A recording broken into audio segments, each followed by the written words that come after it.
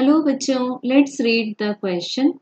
Two particles of masses 4 kg and 8 kg are kept at x equals to minus 2 meter and x equals to 4 meter respectively. Then the net force acting on a third particle of mass 1 kg kept at the origin in Newton is.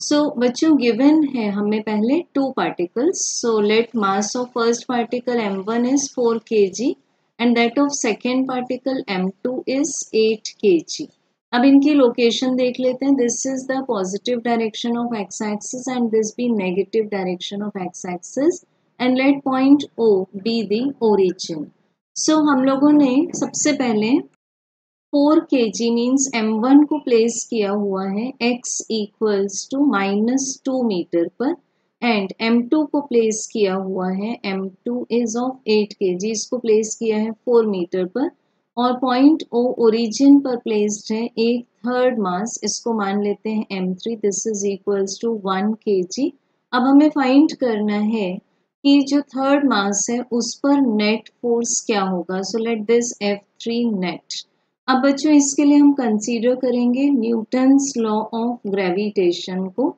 So so, जिसके according F is given by it is always attractive this is the universal gravitation constant multiplied by the product of two masses divided by square of the distance between two masses. so, बच्चों सबसे पहले तो हम ये देखेंगे कि जो gravitational force है वो हमेशा ही अट्रैक्टिव होगा। तो M1 M3 को अपनी तरफ़ अट्रैक्ट करेगा। सिमिलरली M2 M3 को अपनी तरफ़ अट्रैक्ट करेगा। So let denote this force as F31 that is force on third particle by one vector form ले लेते हैं।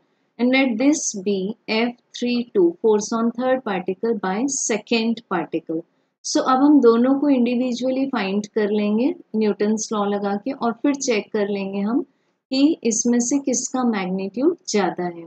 सो so, इस पॉइंट को अगर मान लें ए इस पॉइंट को B so F three one will be along O A vector so this is capital G multiplied by four K G multiplied by one K G divided by minus two square it means this is four so अब हम इसमें एक unit vector multiply कर देंगे let that that be R three one cap so so, बच्चों यहाँ से हमें magnitude wise F three one का आंसर मिल जाता है only G similarly F three two vector निकालेंगे capital G multiplied by eight multiplied by one divided by the distance square mean sixteen four square हो गया.